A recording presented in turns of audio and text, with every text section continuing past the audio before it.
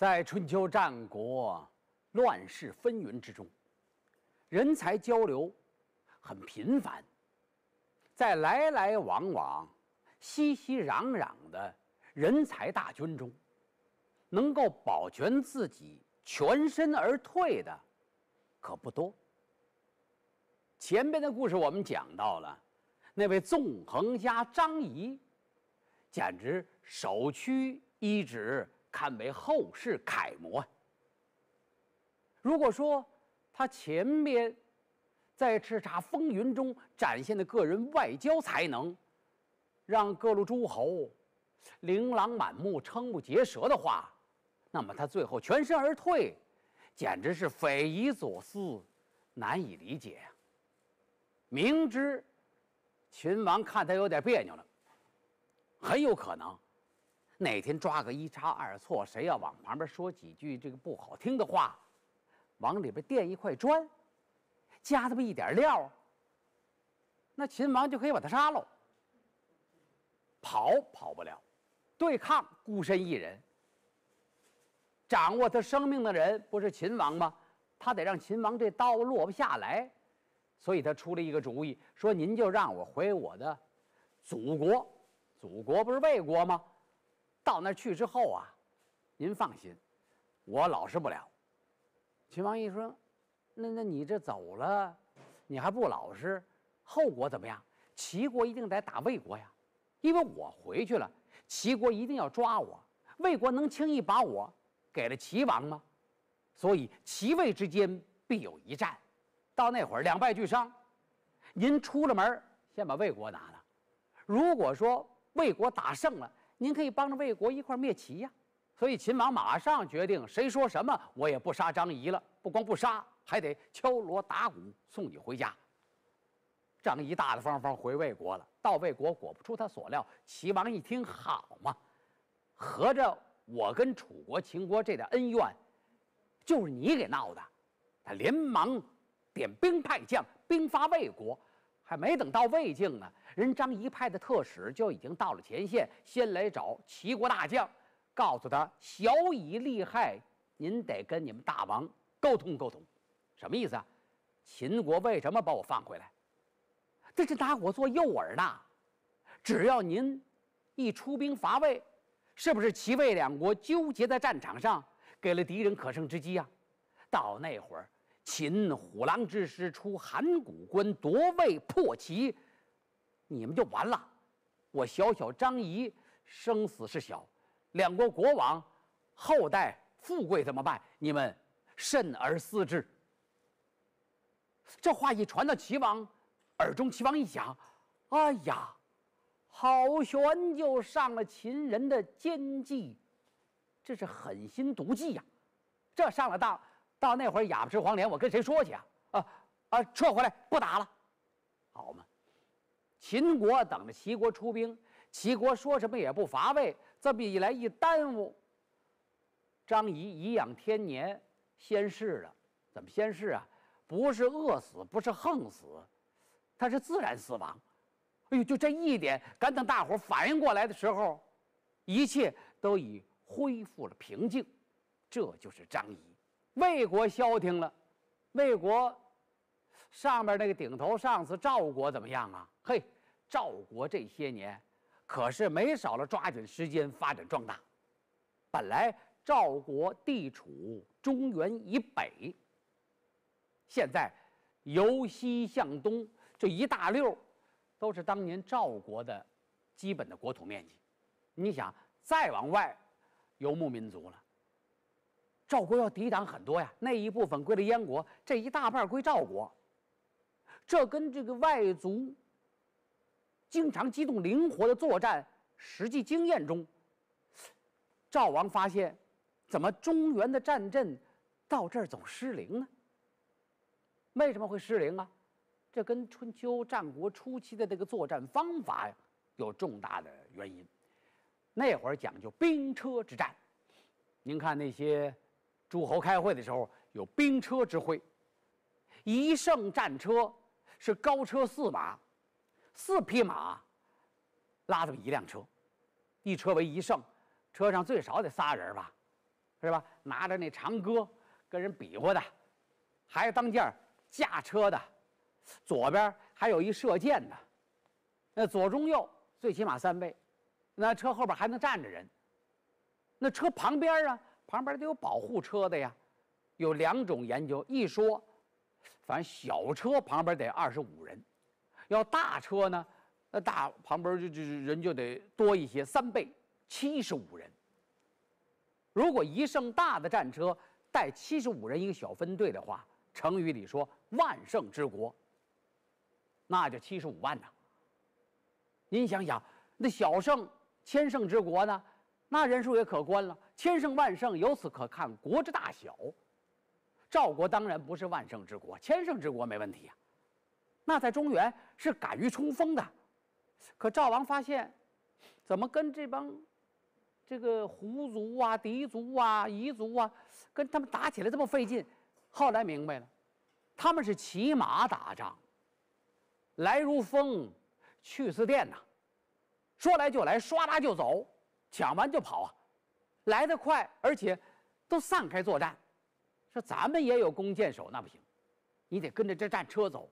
这战车拐弯很费劲，哇，冲过去，说要拐个弯得费老大劲。一个回合嘛，一回合啊，俩战车相对而行，你拿戈，我拿戈，两个当啷那么一碰，唰，半天刹不住闸，走老远，嘚再兜回来，这才一个回合。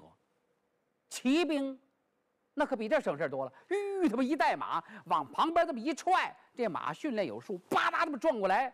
掉个回来了，您那还没找着北呢，人家从后边就追上来了。所以这赵王就开始琢磨，必须少打仗，多思考。这种带有对战争军事思考的哲理思想，随着血脉就传给了一代新的赵王。这位是哪个新君呢？历史上赫赫有名的赵武灵王。赵武灵王历史上有一个著名的美梦。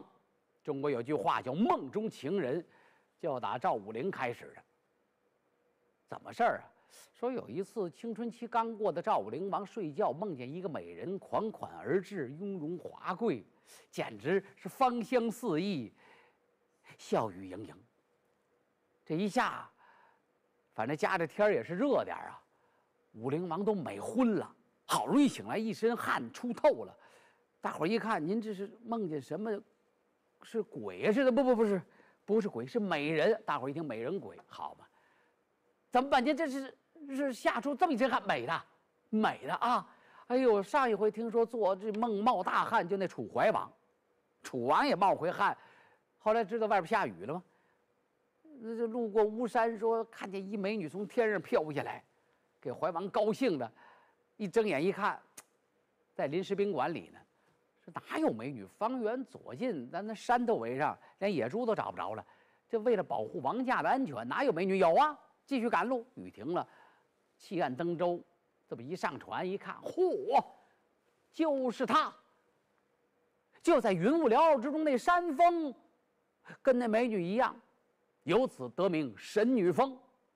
有这个故事，就留下了一句成语，叫“巫山云雨”。为什么？又是云又是雨。那么今天赵武灵王也做了跟楚怀王一样的梦，可惜此地无山。无山呢？这是神女吗？不是神女。我就听梦里边大伙管她叫莹莹莹的，莹莹，是苍蝇吗？嗡嗡嗡，那是嗡嗡嗡扔扔扔。不不，蝇有苍蝇什么事儿？蝇哎，别是秦人吧？对吧？秦氏姓嬴啊？那咱们要不到秦国求婚？旁边有人，你别出馊主意。赵家祖先就是嬴姓人，同姓不娶吗？一家人娶什么娶？还都多少辈儿了？这隔了二十多代也，差不离了。后来千寻万找，哎，终于找着这么一个具有秦国血统的一个大公族。大公族啊，就在赵国谋生吧。哎，此家有一女，取名为瑶。因为现在呢姓了吴了，又是家里的长女，就叫吴梦瑶。简称梦瑶，呵，这梦瑶终于被赵武灵王给看见了。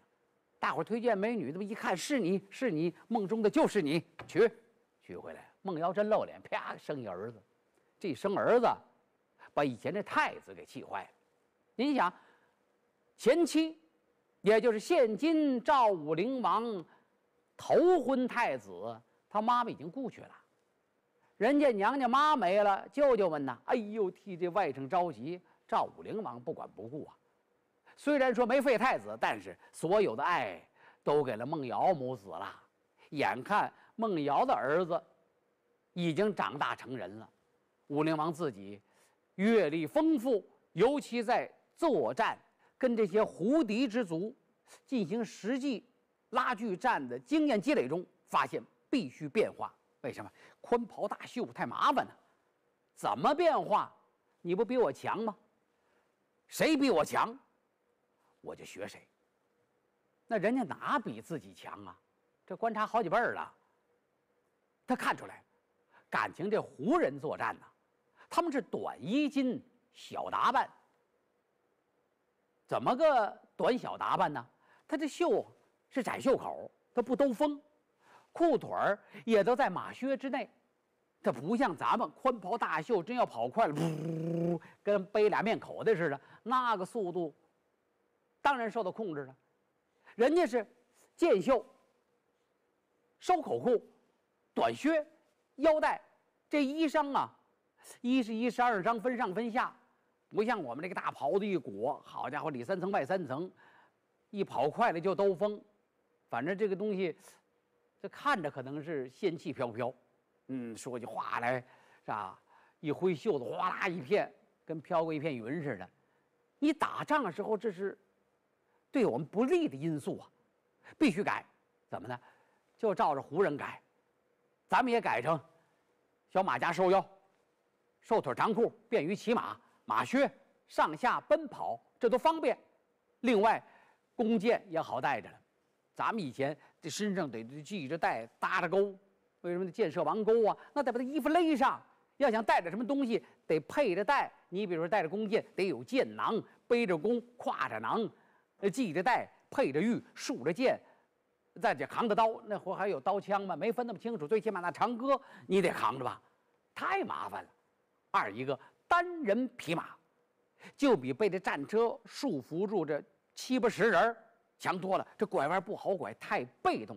我们也得换战马。由此，在打仗中就重视了军用物资的互相的学习，甚至包括抢夺，比如抢夺优秀战马。然后找那明白裁缝一看，那服装好办，问题是谁穿呢？赵武灵王下旨必须改服，而且全民皆改。好些大臣一看，王爷。怎么都改呀？你们懂得什么？打太子就先改，哎，从王室里就开始改，因为一旦打起来是全民皆兵啊，等于是基本的赵国军民要适应耕种、作战两种生活零切换。扔下锄头就拿戈，放下长戈就下地下地干活。那当然，既然如此，全民一服。胡服骑射就成了赵国一个基本国策，大伙儿由抵触、痛苦到适应，到坦然接受。为什么？实际利益告诉了赵国军民：当你用胡服参与骑射争斗中时，你胜利的把握会加强了许多。以前如果说十战八败，现在简直是十战十胜了。胡服骑射后的赵国财富剧增，抢夺的这些入侵之敌被打走了，他们的战马、他们的物资被我们劫夺回来了，而他们再想来也打不过了，所以我们保留了原有的物资，这样财富积累，赵国国富而民强。但是打仗取胜了，赵武灵王年纪也大了，现在主要想的是秦国，他遍观天下，中原。一会儿合纵，一会儿连横。赵国起先是尽量不参加，现在就想参与了。为什么？国势强大了呀。他看了看，韩、赵、魏三家毕竟是三晋一家，没有激烈的矛盾，暂且放弃。左边看看齐，他是右边看看秦，这两家谁的威胁最大呀？齐国倒在其次，最主要的就是秦国。齐国这儿有燕国帮着看着了，这三国要统一好了，应该说我们三个可以彼此协调。秦国不一样，虎狼之师，百二雄关，一旦杀出关来，以前不是没打过，据说合纵百万之众，到了函谷关被人两万就给打出来了吗？那看来秦国是杀人营也。据说他们斩首以首级记军功，所以秦军将卒个个简直是嗜杀成性。将来最有威胁的是秦人。如果自己那两位三晋兄弟韩国、魏国不堪一击，那就剩赵国了。他也势必吞韩魏，回过手来，他得先把我灭了。与其那样，不如我先强大。这就叫忧患意识。优秀的君王总会在居安之时提前思考到危难之时。赵武灵王就是这么一个君主。按说，光听人言传不行，这个话是虚的。眼见为实啊，更何况眼见为实，你得亲自去看一看，感受感受。你光看书不行吧？还得走万里路啊。眼见也不见得都实，但是总比不出门强。我得去看看。赵武灵王想到秦国瞅瞅去，可是家怎么办呢？哎呀，有些为难。二儿子也都十五六岁了，大儿子那都成人了，这一晃几十年的光景，人生如白驹过隙，那还不快吗？太子到底交给谁呢？出门前，这得把这身后这个政局安排安排，不是说怕回不来，最起码得以防万一呀。我在这儿，我说了算；我不在，谁掌政啊？不是有相国、有大臣，那只是臣工。毕竟得有个拍板人，让二儿子不行，年轻。但是这孟瑶老得催着，这么多年夫妻。啊，我们娘俩怎么样？孩子比老大，那可真是，呃，聪明英俊，办事谨慎。那为什么就不能换换太子呢？哎呦，这枕边风一吹啊，武灵王一看，得，就冲这娘俩，我我就换太子了。好吧，愣把前妻生的儿子太子无缘无故给废了。前太子取名为张，太子张无故被废，给了孟瑶的儿子。这位二太子起名叫和，废张而立和，这行了，稳当了。有事不明白，跟你哥哥商量。另外告诉太子张，你现在是长兄啊，你弟弟虽然是太子，但是什么事儿，你们哥俩得一条心。咱们爷仨是一伙的啊。张这个气呀，还一伙。我看你们爷俩是一伙的，一生气奔封地去了。他走了，朝中交给重臣，太子和的老师。以和为储君？如何去料理国政？我是快去快回，然后带着特使出发了，奔哪？奔秦国了。赵武灵王乔装改扮，仆从几人，轻装简行，沿一路山河秀美，依犁向西而来。为什么呀？他要进秦国看看。啊，到秦国这一看，哪是旅游啊？一看秦人风俗与中原大相径庭，但是虽然民风剽悍，却有令人感慨之处啊！你看看那老百姓做买的做卖多么守规矩，一旦有违章犯法者，是说斩就斩，绝不宽容。哎呀，民风虽然淳朴，但是也是井然有序啊！你看做买做卖的、交税的、拿钱的、住店的、登记的。这比我们的强多了，那我们到这儿到这儿没地儿藏，还真躲不起来。你这这得亮身份得了，直接奔馆驿吧。就说赵使来访，这会儿秦国是哪个国君呢？正是秦昭王。秦昭王一直在心想，中原局势如何变化？在这种难以窥测到底细的博弈大战中，每一个国家的有志诸侯。都在动脑子，恰在思索之时，听说人家赵国特使到了。哦，三晋之中，唯独赵这些年消息不多呀。说光在周边漫长的国境线上打打杀杀了，也不知打怎么样。请来相见吧。就见赵使有三四人进来见礼，主使官往那一坐，施礼已毕。有点很紧张的样子，主使官旁边站着有两三个副使，有随从打扮，其中有一个人紧站在这主使旁边。秦王就问他们呀：“呵，听说赵王胡服骑射，这是什么缘故啊？”那正使啊，不知道怎么回答。呃，他这是呃本国国民之，他老看旁边的副使，副使从容作答：“，我家主使的意思是，只因胡人剽悍，秦人勇猛，为得向将来预防着胡人南下，秦人东进，所以我家赵王觉得要先学胡人骑兵之战，也为欲呃东进之强秦，故而胡服骑射之。就怕你们进，所以我们才练。哦，这么说来，你家赵王还是怕我秦人兵马的？当然怕。要是不怕，我们就何必又胡服骑射呢？嘿，啊，心想这主使拙嘴笨腮，这副使挺好说呀，有点本领。一看不卑不亢，又聊聊其他的事情。国君身体如何？好，虽然年近五旬，但是我家国君每日饭量不减当年，精神矍铄，身体正在旺时啊。哦，不能小看赵国，客客气气，有什么事儿跟本王说。好，这次会见结束，打发走了。越回去琢磨，这秦昭王越觉得纳闷说这主使看着那么木讷，那个副使怎么两眼放金光啊？怪了。晚上睡不着觉，他琢磨琢磨，不对，秦昭王不傻，心想旁边站着这个副使，浑身带王者霸气，倒是那主使。有点呆若木鸡，便是其中有诈吧？赶快，天亮以后把他们请来，我接着跟他们聊一聊。再次召见，转天早上啊，副使，昨儿那个敢于发言顶撞秦王那副使找不着了，主使还是那位，主使脸都绿了。那副使的他他他不是副使，他才是我家赵王主父。怎么赵王主父啊？那不太子监国了吗？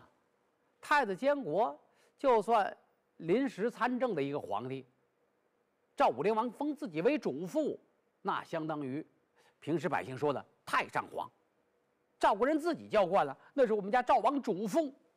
哦，他人呢？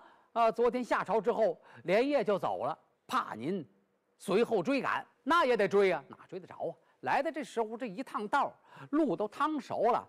这快马加鞭，让你看看胡服骑射的优秀成果，单人独骑逃回赵国了，轻车熟路而去。这边，秦王一看，我要把这些来访的使节杀了，显得我秦王心狭量窄。算了算了，既然已经让他把我们秦国看个底儿掉，看就看吧，你还能把我怎样？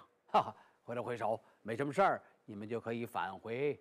赵国啦，赵武灵王是英雄胆大，敢入秦国虎狼之地啊！这么一来，秦王都服了。可是武灵王回来心里边难过呀，怎么呢？主父回来正式升朝，太子监国把权交回来，听太上皇的呀。你先坐在旁边吧。一看君臣们冲这个二太子和，在那居功施礼，叩首禀报。他偷眼一看，废太子张站那儿，满脸哀容。当爹的心里也有点不是滋味，觉得怪对不起老大的。下来跟大臣们商量，我看他们弟兄都不错，不行，把赵国一分为二，这样我心里就不存在愧疚了。大伙儿，您您怎么了？去趟秦国回来，这是没敢说什么病发作呀？您忘了当年晋国？那两宗怎么打起来的？不就是哥哥占一地，弟弟占一地？后来两宗相杀，死了多少人？最后三晋分而化之，三家把他们地都分了。您想让赵国重蹈前朝覆辙，您可得仔细思之啊！啊，是。赵武灵王又犹豫了，就因为他这个手鼠两端，嘀嘀咕咕，犹犹豫豫。最后，终于让长子张起的反叛之心，哥两个打起来了。一番征战，前太子兵败无处可逃，他逃到他爹的行宫里来了，奔赵武灵王的宫殿。此地在沙丘行宫。进了宫来，这位太子和带兵相围，也不敢杀了主父，也不能放了自己哥哥出来，干脆困着吧，活活困死了赵武灵王跟长子张。历史又一次重演，我们想起了齐桓公，我们想起了楚成王，一代雄主赵武灵王饿死沙丘。继任的这位太子和呢，就是历史上赫赫有名的赵惠文王。赵惠文王这一登基，这才要合纵伐秦。